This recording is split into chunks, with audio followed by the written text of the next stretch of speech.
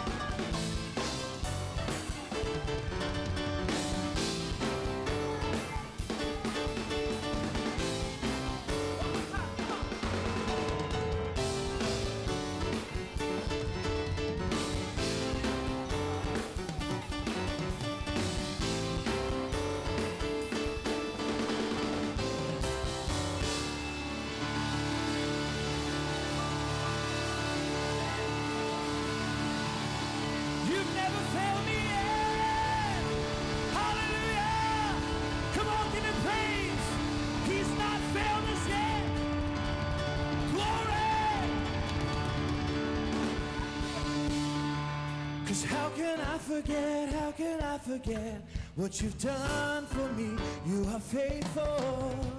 You never failed me yet, never failed me yet. You're so good to me. Come on, declare that today if that's you. Come on.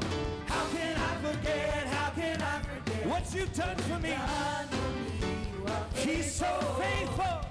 Never failed me yet, never failed me yet.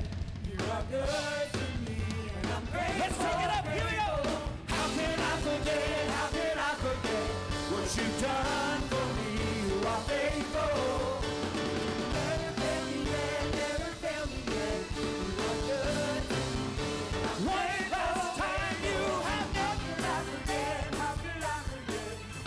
Done for me. You are faithful. Never failed me yet, never failed me yet. You're so good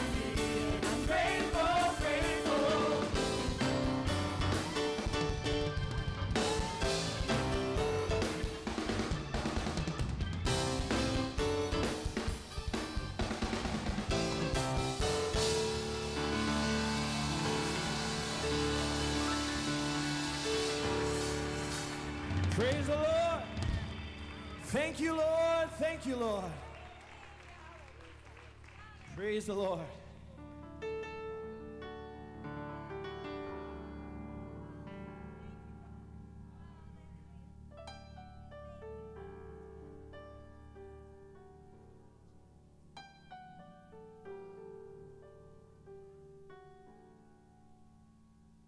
Living here has caused me pain, things I just don't understand.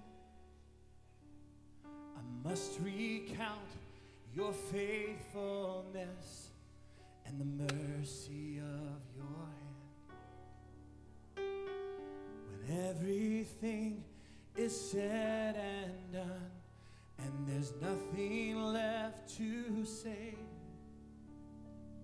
The cross of Christ is proof enough.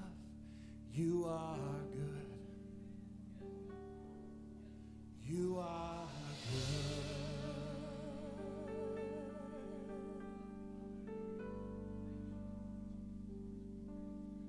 You are good.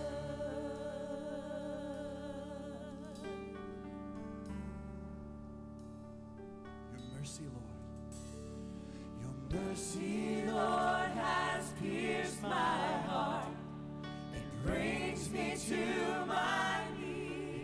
reverent fear. In reverent fear, I'll trust your ways and worship at your feet. When everything is said and done, come on. Everything is said and, and there's done. nothing left to say. There's nothing left to say. The cross of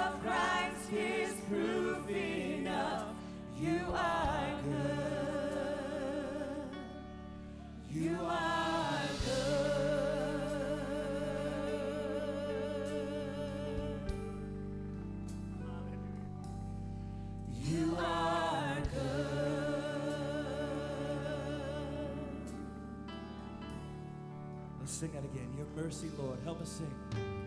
Your mercy, Lord, has pierced my heart. It brings me to my knees. In reverent fear, I'll trust your ways and worship at your feet. Everything is said and done. When every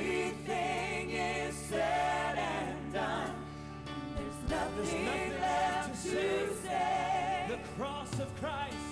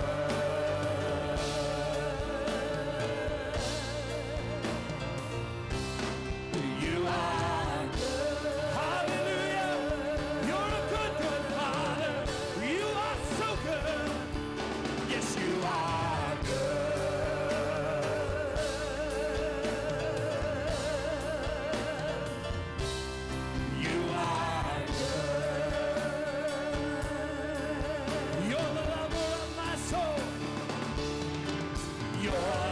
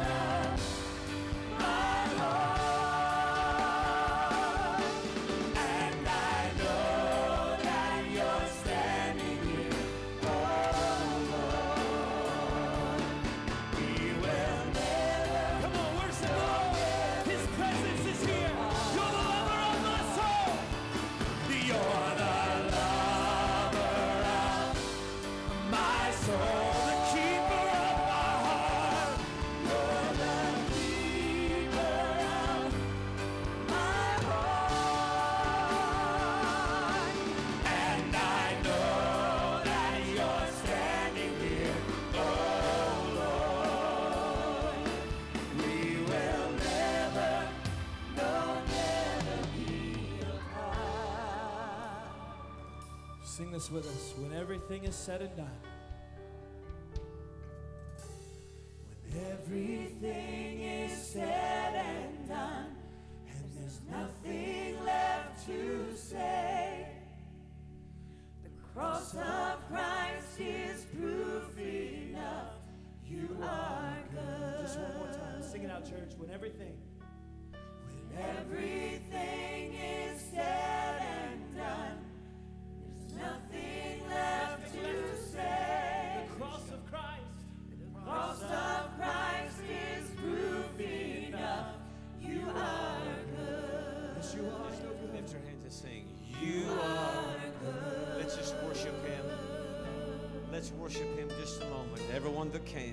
Let's worship Him. You are good. Lord, you are good. You are good. By your very nature, Lord, you are good. You are good. Father, we thank you and we praise you your grace, your mercy, your spirit. We worship you. We aggrandize you. We lift you up. We exalt you in this place. Jesus, you said if you would be lifted up, you would draw all men unto you. We lift you up this this day and we pray that those that you would choose that you would draw them to you. Men and women, boys and girls, all have come into this building and every one of them in a different place in life. Facing things, going through things, living. There are those who are unsaved. There are those who have put faith in Christ. There, there are those that have need. And I pray, Lord Jesus, that by your Spirit you would irrigate down these aisles and in and out of these seats. And would you touch every person?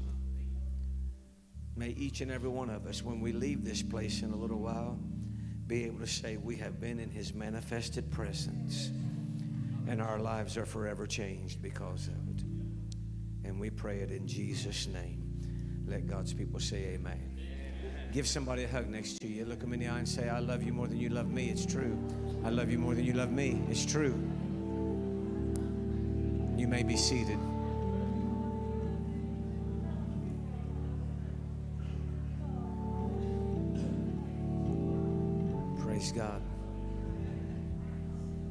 Right, you can stop loving on each other now.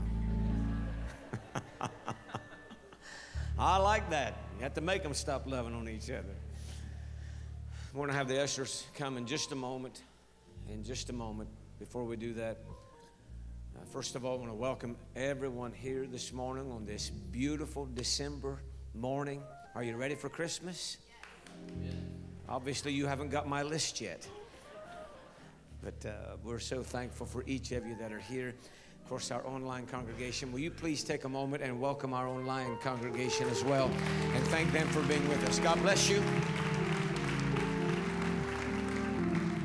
Wherever you are, we're thankful for each of you that are in the building, each of you that are online.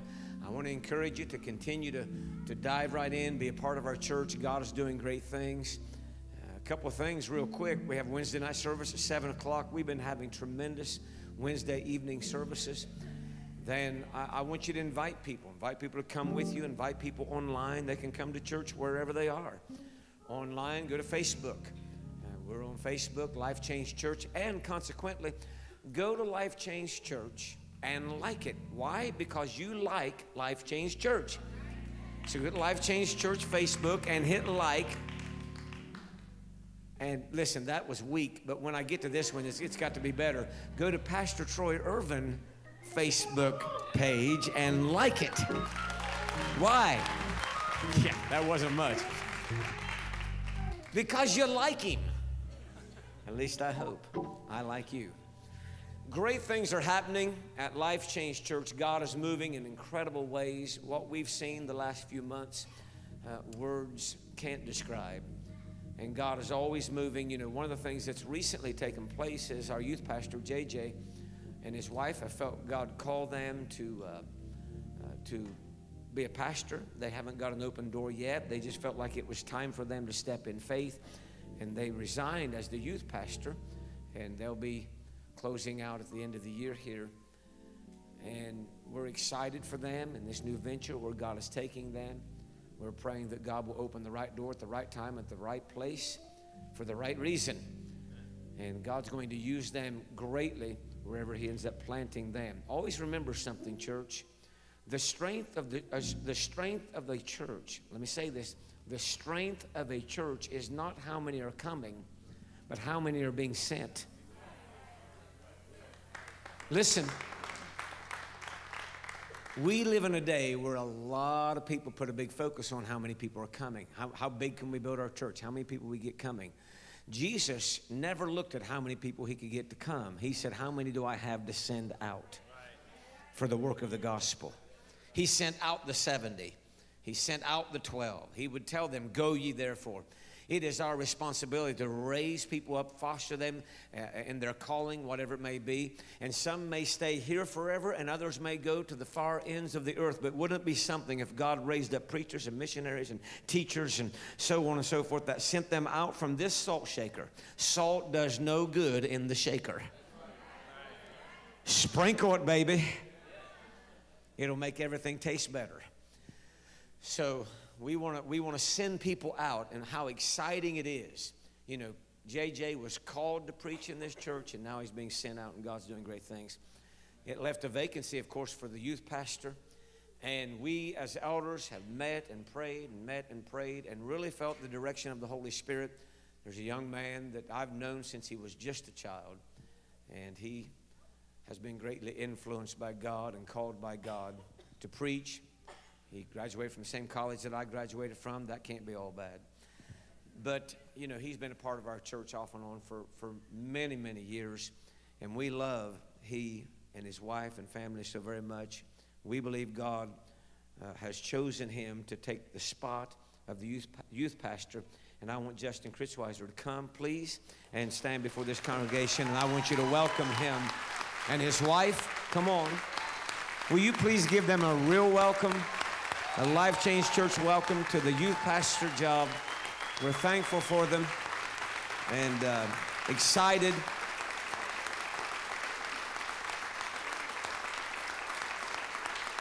For what God is going to do in and through them. Will you come down, guys? You know, I, like I said, I've known I've known Justin since he was four years old. I preached revivals in the church that he attended with his mother years ago when I was ni- I was 19, I think, the first time I ever preached. He was probably what four or five years old, just a child. His grandpa on his mother's side, wonderful man, wonderful Christian man. He and his family loved God. They always like to hear me preach, so they got to be okay. But uh, he's a great, great man. I hope he sees this. I've always loved him severely. But God has had his hand on this, this young man, and we're going to see great things happen through him.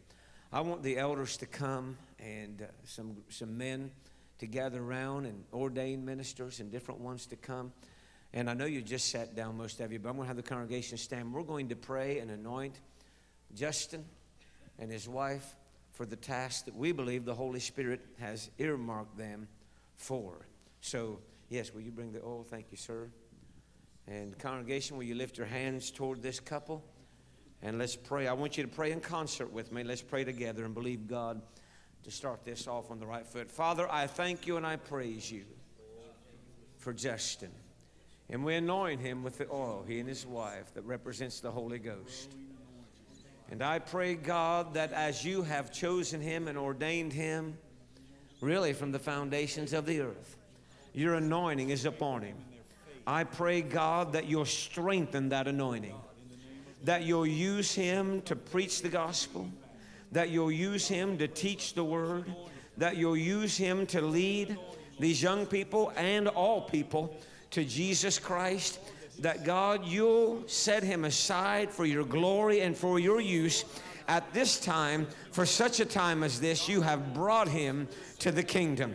It is no accident that he is here, but he is here on purpose, sovereignly selected for this time, for this reason, for this task. And we pray that the anointing would increase upon his life and that you'll use him greatly in this ministry to preach the gospel. In Jesus' name we pray. May it be so. In Jesus' name, let God's people say, Praise the Lord. Let's thank God one more time for what he's doing here at Life Change Church.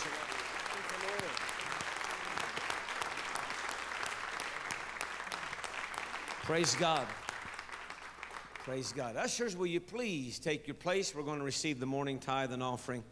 We're thankful for you that are faithfully each and every week uh, tithing and giving and minding God and worshiping God in, in, the obedience of our giving. And we appreciate it so very much.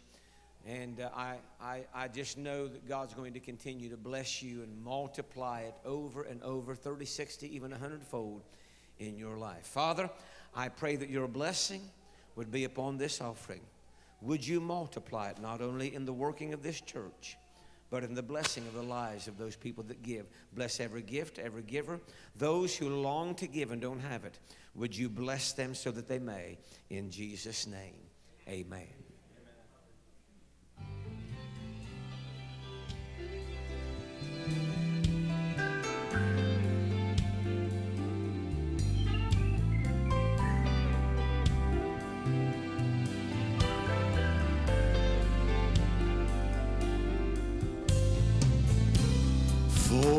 Unto us. A child is born, unto us. A son is given, and he shall reign over all the earth and heaven, and his name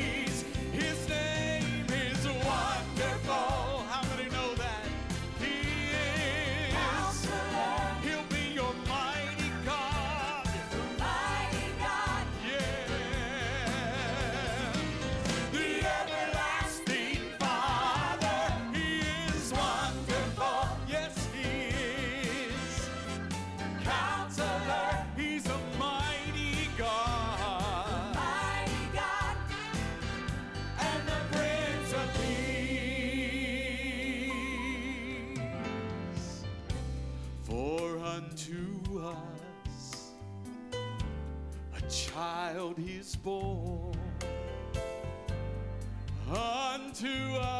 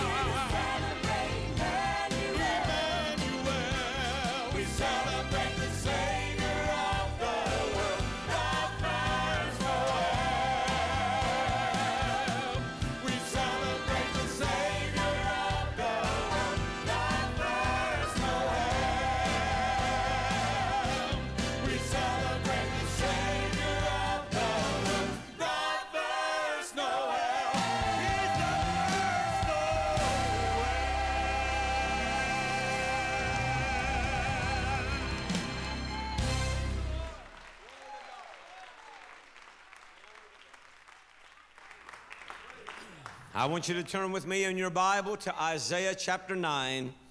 Isaiah chapter 9, verse 6 and 7. Isaiah chapter 9, verse 6 and 7, as we continue our sermon series this morning Who is Jesus? I'm going to have you stand. Please let us reverence the Word of God as it is read. Isaiah chapter 9 and verse 6 For unto us a child is born, unto us a son is given, and the government shall be upon his shoulder, and his name shall be called Wonderful, Counselor, the mighty God, the everlasting Father, the Prince of Peace. Of the increase of his government and peace, there shall be no end. Upon the throne of David and upon his kingdom to order it and to establish it with judgment and with justice from henceforth even forever. The zeal of the Lord of hosts will perform this. Preaching this morning, who is Jesus? Let us pray. Father, what a joy it is to be here in your presence. We thank you that you are here with us in person and presence of the Holy Spirit. We pray that you would continue with your presence and would you touch and anoint each and every one of us. Anoint our mind, our heart, that we will understand and receive your truth. And as the anointing pierces our soul to bring the truth of your word to the depths of who we are, may it perform every bit of the task that you've sent it forth to do. I thank you for what you're going to do in this place. And I ask God that your word, that your word would be embedded deep within us today. And may it spring to everlasting life. In Jesus' name, amen. Amen. You may be seated. Who is Jesus? It is the question of the ages, looming in the mind and heart of men and women, perhaps even pestering the soul of humanity. Who is Jesus? The greatest minds of human history have contemplated, dissected this simple yet complex question Who is Jesus? It is a question that even he himself would look at the disciples and say, Whom do men say that I am? And they would say, Some say that you're one of the prophets, some say that you're John the Baptist, Jeremiah, Isaiah. But then, as only Christ can do, with the Galilean gaze, as if it were to stare a hole through their soul, when he would look at the disciples and say, But whom do you say I am? Peter would say, Thou art the Christ, the Son of the living God. I want to go on record this morning saying I agree 1000% with Peter. I believe that Jesus is the Christ, the anointed one, the Son of the living God. I believe it with all my heart. It would be John the Baptist who would say, Jesus is the Lamb of God that takes away the sin of the world. John the Apostle would call him the Word that became flesh and dwelt among us. Who is Jesus? Isaiah, 700 years before he was born, would peer out into the prophetic future and see glimmering, dancing in the Stygian of black, the night that man would find himself in, this little light. And Isaiah would say, For unto us a child is born, unto us a son is given, and the government shall be upon his shoulder. He would say he'll be a man, but yet he is deity. And he will be the king that will rule and reign. And then he would call him by name. When he said, His name shall be called Wonderful. I don't know about you this morning, but I have found Jesus to be wonderful. I'm reminded of the old song, Isn't He wonderful? Wonderful, wonderful. Isn't Jesus my Lord wonderful? Eyes have seen, ears have heard. It's recorded in God's Word. Isn't Jesus my Lord wonderful? Isaiah said, His name shall be called wonderful. His name shall be called counselor because he is one that would be an advocate who would advocate for us. He would advise, He would assure. And Jesus Christ is the great attorney, He's the great counselor of all the ages. His name shall be called Counselor. Isaiah said, His name shall be called the Mighty God, the strong and mighty, conquering God. And Paul would come along and say, We are joint heirs with Christ, therefore we are more than conquerors through this mighty God. But today I want to deal with this name. Who is Jesus? Isaiah said, His name shall be called the everlasting Father, the everlasting Father. Listen, the pre existent paternal one, the pre existent paternal one. What do you mean? I mean, when he said he's the everlasting Father, that means he does not have a beginning. Jesus did not begin in Bethlehem 2,000 years ago. No, he was and is from everlasting to everlasting. He does not have a beginning, he does not have an end. He is the eternal one, immutable, eternal. And he said he would be the eternal Father. What do you mean? The paternal one. Paul would say it this way that Jesus was the creator of all things.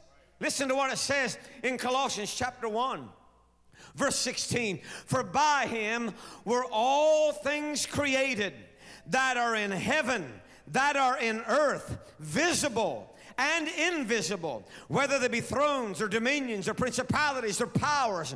All things were created by him and for him. In other words, Jesus Christ is the Father of all things, the everlasting, pre existent, eternal creator of all things. And they were created by Him and for Him, the everlasting Father. Now you say, Preacher, that all sounds great. But what does that mean to me right now, today? I want to give you three things. Three things very quickly. Number one, when he said he's the everlasting Father, it means that there will be for us an everlasting provision. Let me say it an everlasting power, rather. An everlasting power. Jesus Christ is the one of power. And even when he walked this earth, Jesus was one of power. When he spoke, his word was one of power. When he touched, he touched with a hand that was strong and mighty with power when he spilled his blood dying upon the cross and opened this fountain in the house of David, his blood was one of power. When he rose again from the dead, he rose in strength and in power. And even now he sits on the immutable throne in heaven and rules and reigns in power. I'm talking about an everlasting strength, an everlasting power. He is the God of power. I like power, don't you? I love power. I, if I have a car, I want it to be powerful. Most of the cars I've owned have been a V8. Why? Because when I hit the accelerator, I want to go. I don't want one of those little things that sounds like they're winding up band, you know, rubber bands to get you up a hill. I want something that goes. Power. I like electrical power till the bill comes. You know, the kids like to leave all the lights on. Mandy likes to leave all the lights on. They just do that because there's something about my wife and kids. They just love to waste money. Just throw it away. Just go ahead and put it in that toilet and flush. I stopped by Jerry Fry's house last night and the whole outside was lit up. I mean, every light he had was on, every light inside the house was on. I said, You like to waste money? He said, No, but I don't like to sit in the dark like you.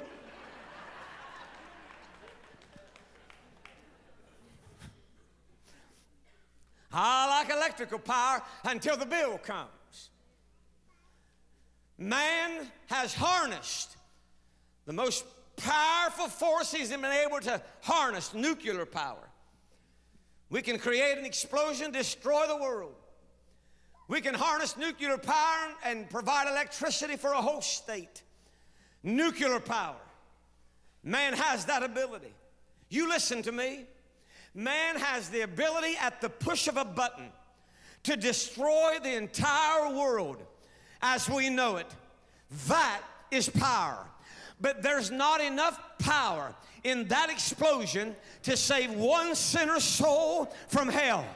But you can take one little red drop of blood that Jesus shed 2,000 years ago on the cross, and that's enough power to reach all the way in hell and lift a man or a woman out and wash them and cleanse them and make them new and give them hope beyond this life. He is the God of power.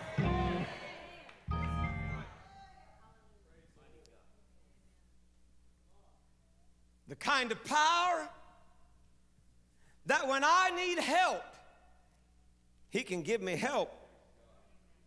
Isaiah would say it this way in Psalm 40 He gives power to the faint, and to them that have no might, He increases strength. Even the young shall faint and be weary, and the young men shall utterly fall. But they that wait on the Lord, shall renew their strength. They shall mount up with wings as eagles. They shall run and not be weary. They shall walk and not faint. I don't know how you feel this morning, but sometimes I get tired. We're living in a day where I've never seen like you see today, where people get so weary emotionally. People are weary spiritually. People are tired physically. We run, run, run, run, run, and accomplish very little. It just seems like we've played the trick of the enemy and we've become so busy that we can hardly see where we started or where we're going to end the day. I mean, it's just go, go, go, go until we are worn out emotionally, spiritually, and physically. But God said, I don't care what the situation of life is. If you need strength, your eternal, everlasting Father can give you strength. If you feel weak, He can give you strength in your body, He can give you strength in your mind. He can give you strength in your soul. He can give you strength in your heart. But he said, I'll go one step farther. Listen what he said he'll do. He said, You can mount up with wings like an eagle. You can run and not be weary. You can walk and not faint. What do you mean, preacher? He's saying, I know that there's going to be different times. There'll be times that you catch the draft, and high in the heavens you will soar above everything, above all the problems, above the pain, above the heartache. Things are good. Everything's going great. He said, There'll be other times that you're down down to earth. You're feeling some of the pain of it, but you're full of strength and you're running even against the wind and you got all the might and strength to run. He said, but there's going to come those days and I feel like preaching all of a sudden. There's going to come those days when you're down to a walk or maybe even a crawl, and you think, I don't know if I can put one more foot in front of another. I don't know if I can wake up and face another day. But he said, You listen to me. Your everlasting Father promised, even when you're down to a crawl, you will not faint. He said, I'll come alongside you and say, I'm going to get you through another night. I'm going to get you through another day. I'm going to get you through another valley. I'm going to get you through the heartache and the pain. Woo! I say glory. He said, You will not faint.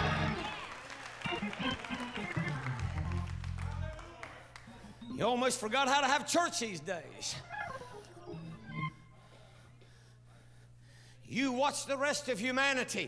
They face those times and they crumble and fall apart and spend their life savings talking to psychologists and counselors. But when the people of God go through those crippling times, God says, You will not waste, you will not faint, but my strength and my power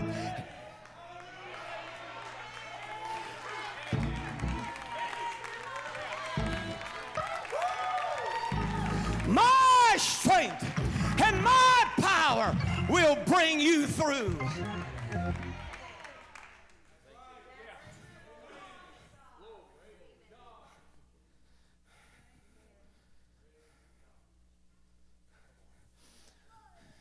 11:45. I got plenty of time. Everlasting power what does that mean for us today, preacher? It means what, what I tried to say a minute ago everlasting provision. A father is one that provides for his family. And when Isaiah said he'll be an everlasting father, he's an everlasting provider. David said, I've been young and I've been old but I've never seen the righteous forsaken, nor his seed begging bread. Paul said, My God shall supply all our need according to his riches and glory by Christ Jesus. Jesus looked at the disciples and some of the others gathered around that day and he said, Take no thought for your life. What will you eat? What will you wear? He said, Don't worry about those things. The rest of the world, Gentiles, worry about that. He said, But I want you to look at that sparrow. Your heavenly Father takes care of that bird. I want you to look at that flower, that little lily. Your heavenly Father takes care of that, that little flower in the field. How much more are you than these? He said, Don't worry about it. I'm going to provide what you need. He said, You need food on your table. I'm going to put food on your table. You need a roof over your head. I'm going to put a roof over your head. You need clothing on your back. I'm going to put clothing on your back and shoes on your feet. We don't know what I'm preaching about anymore because we become way too spoiled. But we need to be reminded this morning that if we woke up in a warm house, it's because our Heavenly Father has provided a warm house to live in. If we woke up in a bed, it's because our Heavenly Father has provided a bed for us to rest in. If we woke up this morning and did not think about what am I going to eat, but there is food in the cupboard and in the refrigerator, or we went down to McDonald's McDonald's and got our little sausage biscuit is because God has provided the means and the wherewithal. Have a roof up above me. Have a good place to sleep food on my table and shoes on my feet. You gave me your love, Lord, and a fine family. Thank you, Lord, for your blessings on me. We're living in a day where we take that way too much for granted. You hear me? I said we take it for granted. You say, I'm a self made man. All you are, are you? Well, let me ask you a question. Where did you get the air to breathe and the lungs and the capacity and the know how to breathe it? Where did you learn how to use your muscles? Where did you get the know how, how and how did you get that job to work? It is God that put air in your lungs. It's God that put vitality and strength in your body. It is God that gave you that job. It's God that gave you the, the mental capacity and the ability in your body to work that job. It's God that provided that check. It's God that's done it all. He is our everlasting Father who provides for his children. Don't you kid yourself, it could all go away tomorrow.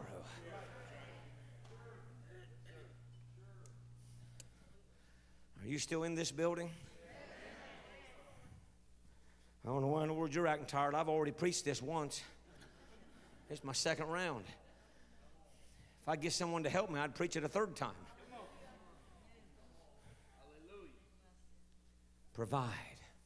You know what? One of my favorite verses of this is when Jesus was, was giving assurance of answered prayer.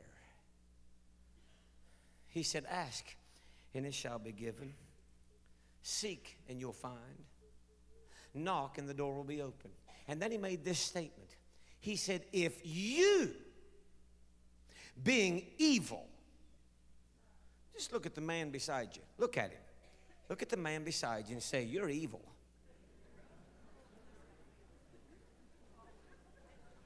I didn't figure there was one woman in this place having trouble doing that. by nature, everybody look at me, by nature and by choice, we are evil. There's nothing about God that was evil, but we, on the other hand, everything about us, we're all born bent, messed up, evil by nature. He said, if you, this is so good, if you, being evil, know how to give good gifts to your children, how much more will your heavenly Father, how much more?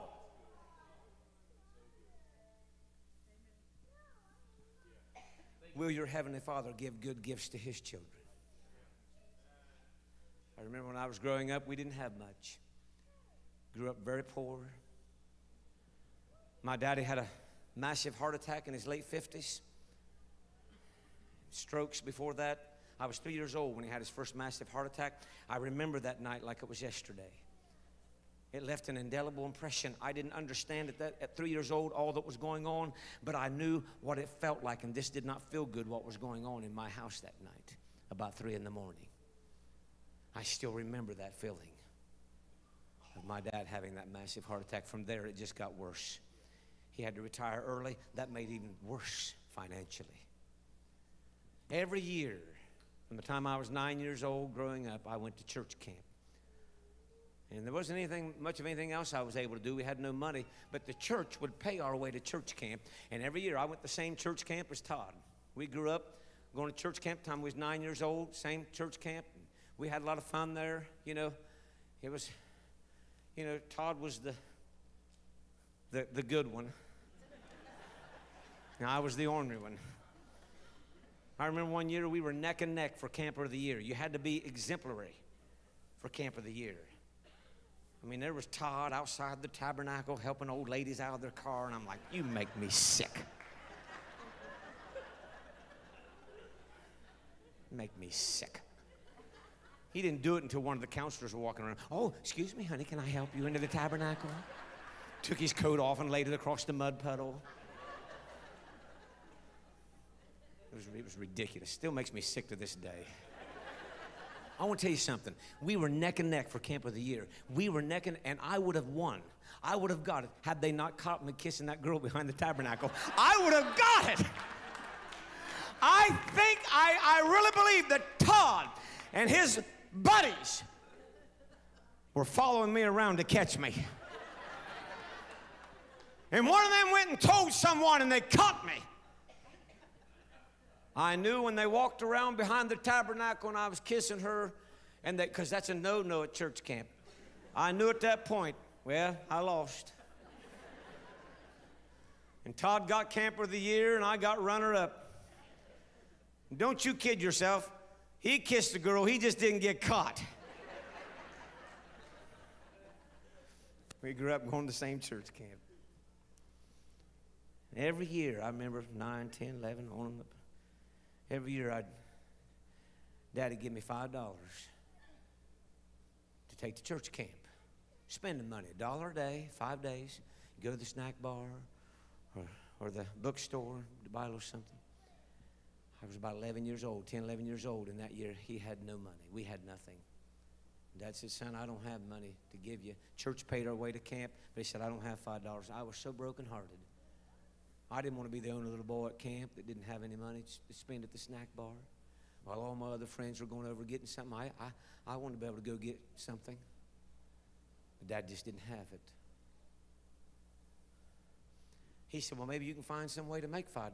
And there was a farmer. He had a number of farms. He farmed between Kentucky and Ohio and West Virginia, and he would travel in, in a circuit on farms and had a big piece of property near where we lived. And he was working that field. And I remember climbing that fence, and I went up to that farmer and I said, You got any work I could do? I just want to make $5 to take to church camp with me. He said, I lost a grease gun out here in this field. If you find that grease gun, I'll give you $5. Children, I searched all day until lunch, and I went home. Dad said, Did you find it? I said, Not yet. He said, Keep it going, boy. Keep working. And all afternoon, I uncovered every blade of grass, and never did find that grease gun. And I went to the fellow and I said, I couldn't find it. He said, Well, I'm sorry. He didn't give me the $5 either. And I don't blame him. That was the agreement. You find the grease gun, I give you $5. I didn't find it. I remember going home.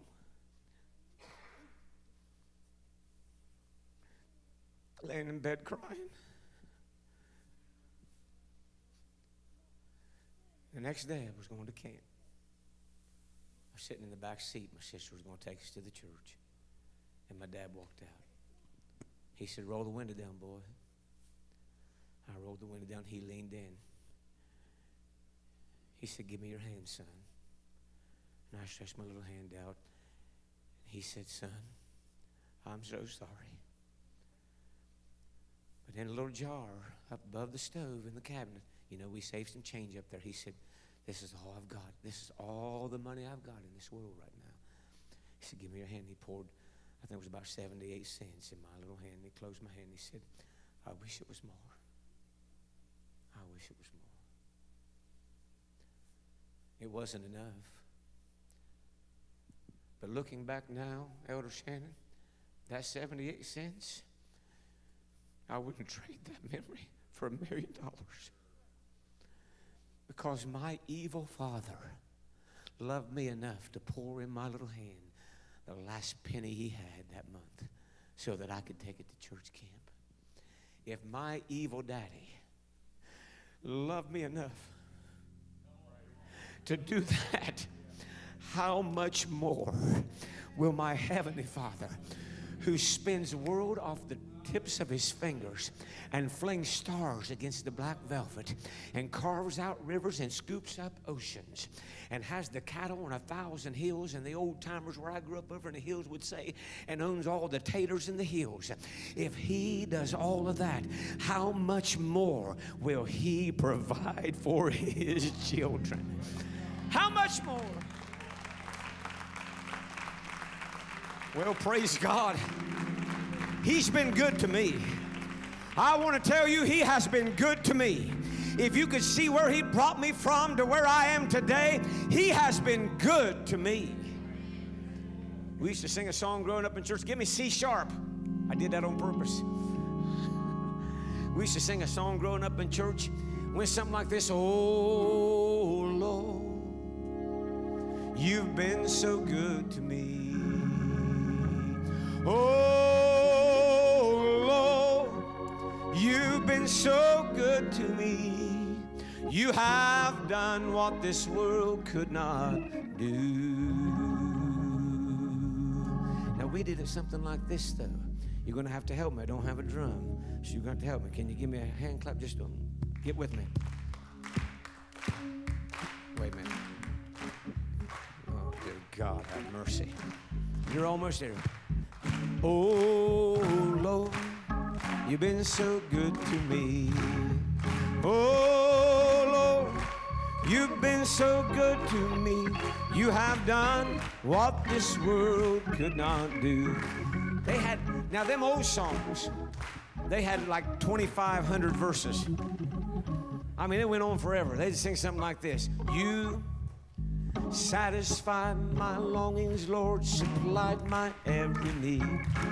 You sanctified me, holy Lord, you've been my friend indeed.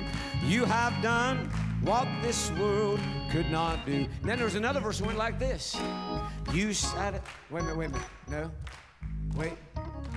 You fed me when I was hungry, Lord, warmed me when I was cold. You gave me drink when thirsty, Lord. You led me to the fold. You have done what this world could not do. Let me think here. Let me give you the, the preacher's favorite verse. Keep going. I want to give you the preacher's favorite verse. You help me tithe my money, Lord. You help me tithe my money, Lord. You help me sing and shout. Well, you open the windows of heaven, Lord, and pour the blessings out. You have done what this world could not do. I like this one. This is the last one. We're listening for the trumpet sound to hear the angels sing. We are looking for a great white cloud to see our coming King. You have done what this world could not do. How many can testify God's been good to you? Oh, Lord. You've been so good to me. Hallelujah. Oh, Lord. You've been so good to me. You have done what this world could not do. The everlasting Father gives us an everlasting provision. He provides our needs in this life and in the one to come. Let me give you the last point. When Isaiah said he's the everlasting Father, he's saying he will give us an everlasting presence. One day God went to Joshua and he said, Moses is dead. Now I know, Joshua, you'd just prefer that he stick around, but Moses is dead. But he said, Listen to me, Joshua. As I was with Moses, so shall I be with thee. And then he said, Let me just nail this thing down for you. I will never leave you, I will never forsake you. You'll always have my presence. He said to Isaiah, Fear thou not, for I am with thee. Be not dismayed, I am your God. I will strengthen thee. Yea, will help thee. Yea, will uphold thee with the right hand of my righteousness. And in a couple chapters over, he said, Isaiah, remember when you walk through the water, I'll be with you. And through the rivers, they'll not overflow you. You'll walk in the fire, and I will be there. He'll never leave us. David said, The Lord is my shepherd, I shall not want. He maketh me to lie down in green pastures. He leadeth me beside the still waters. He restoreth my soul. He leads me in the paths of righteousness for his name's sake. Yea, though I walk through the valley of the shadow of death, I will fear no evil, for you, for thou art with me. There's nothing, listen, there's nothing better in this life than having the presence of God, and there's nothing worse than him being absent. God says, I'll be with you. When I was putting this sermon together, I told the story about dad, and I, I couldn't help, you know, when it says everlasting father, you just think about your father. I thought about my dad. I was thinking about really one of my fondest memories of dad. I was five years old, six years old. We'd always go to church. And mom always wanted to get there early, and she always left late. And dad would always say it this way Well, we got to get going. The girls want a jaw. You know what jaw is? Run your jaws. Talk. Dad say they want a jaw. Dad wasn't much of one for jawing. You know, believe, believe it or not, I'm more like dad in that than you know you know, that mom, they just loved to be around people. John, dad wasn't that way. In fact, if, if there were people visiting at our house, my dad, he done this more than once. He'd say, well, you all stay as long as you like. I'm going to bed. He'd just go to bed. He said, You can stay all night, make yourself at home, but I've jawed enough. I don't want to hear any more. I'm going to bed. That's dad. So he wasn't much of one for jawing. So we'd get to church. Then after church, he'd say, Come on, son. Mom and the girls are going to jaw. Let's go to the car. We'd go out to the car. I remember those cold winter mornings or winter evenings. It would be so, so cold. And those, you remember, some of you older people will remember the older cars. You know, there used to be a day you didn't start the car and it got warm within two minutes. No. Them old cars, it was still cold 20 minutes later. You'd press the gas and try to get that water hot, pushing through. The, you know, I mean, it is cold in those cars. We had an old Dodge Dart push button, and Dad said, Come on, let's go warm the car up for, for Mom and the girls. Man, that car was so cold, and I'd sit there shivering. And I remember my daddy would say, Come here, son. Had an old brown coat. He'd unzip that coat and open it up, and he'd say, Crawl in. And I'd crawl in and wrap my arms as far as around as they'd go. Those strong arms of Dad. He'd take that coat and wrap him around me and just envelop me. I'd lay my head on his shoulder and just fall asleep. In my lifetime, I have never found any place more warm or safe in my mind and memory than those Sunday nights wrapped up in my daddy's arms. Some time ago, my brother Bob told me something I didn't know. He said, You know, Troy said, Dad was a tough man. Went through the Depression back in the 30s and four years of war and World War II. He said he was meaner than a snake, wasn't he? I said, Yeah. He said, I never saw Dad cry one time except for once. My whole life. He said, My whole life I never saw Dad cry except one time. Two days before he died. I said, Really? He said, Yeah. He said, I just got off work and there wasn't anyone at the hospital. And I thought this would give me a chance to have some time with Dad, just me and Dad. He said, When I walked in the hospital room, Dad was in the bed and he was crying. He said, It struck me because I'd never seen Dad cry. He said, Dad, what is it? And Dad just grinned his teeth. Mm, nothing, nothing. Dad, why are you crying? Nothing. Nothing, Bob. Dad, what's wrong? Nothing, Bob. Just leave me alone. And Bob said, Look at me, Dad. He said, Is it Troy? Dad said, Yeah. He said, Bob, he's 13. And all I've wanted to do is make it until he was a man grown and graduated from high school. But I'm not going to make it, Bob. I wanted to get him through school. I'm going to make it. Bob said, Don't worry, Dad. I'll get him through school. There was nothing in my father wanting to leave me before I was grown. But time and physical condition and the will of God said otherwise. I remember be 36 years now, this December 31st. I'll never forget it as long as I live. Walking through my brother's house knowing that dad wasn't going to make it. It was cold December night. The day before, it had snowed pretty heavily. I was standing in the kitchen looking out the window. The earth was covered with a canopy of snow.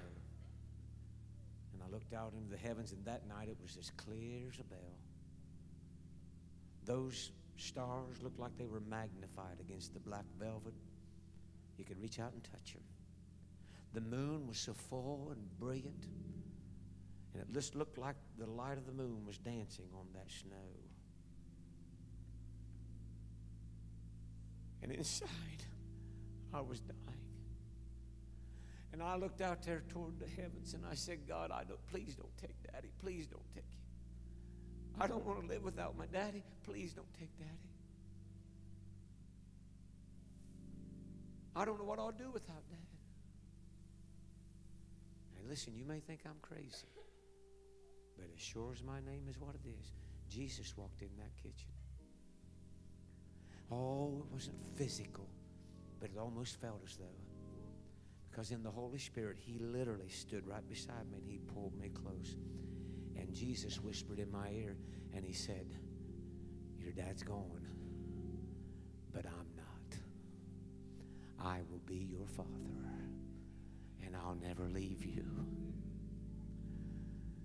Over the last 36 years, church, there have been 10,000 times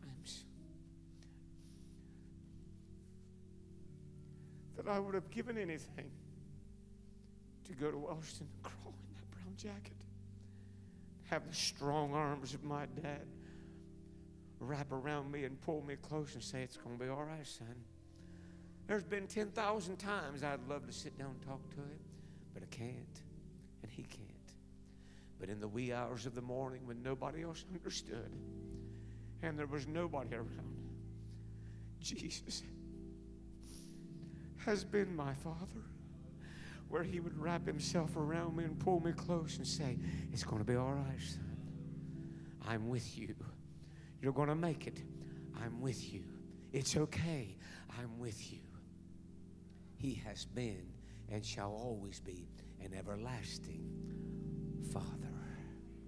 His presence. His presence. Isaiah said it well. His name shall be called Wonderful Counselor, of the Mighty God, the Everlasting Father.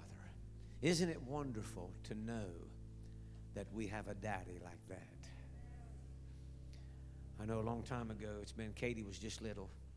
She may have been, oh, one of Bella's age or one of the little girls now. I can't remember, but I was in my office and I was changing clothes. And Becky and Katie came to the door. And they knocked on the door, and I just ignored it. And then I heard them talking.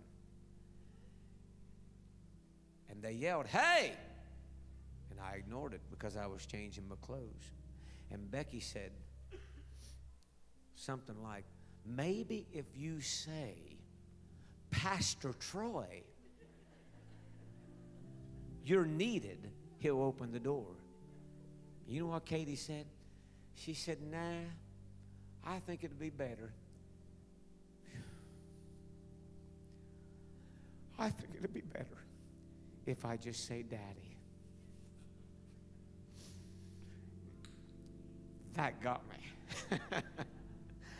I said, I'll be right there. And when we come to our Heavenly Father, we don't have to assign all the titles. We can just say, Daddy? And he says, I'm there.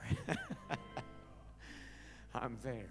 Isaiah said, He's the everlasting Father. Stand with me, please. I've kept you long enough. He is here. Hallelujah. He is here.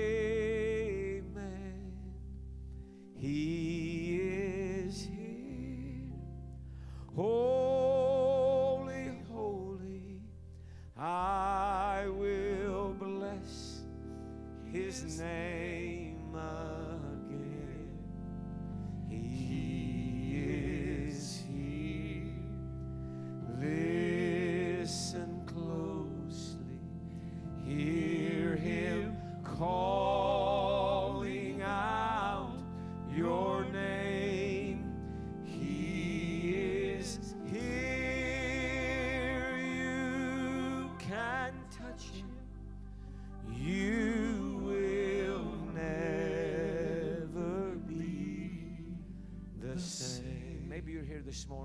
say, I'm unsaved.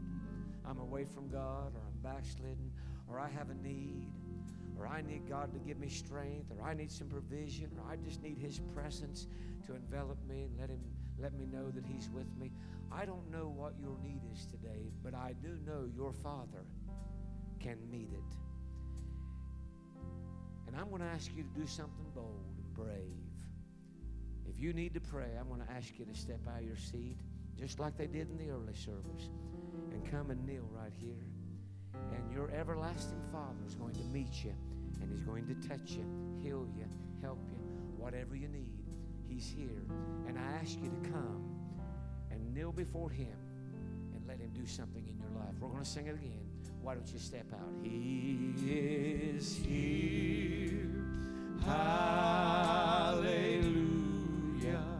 He is.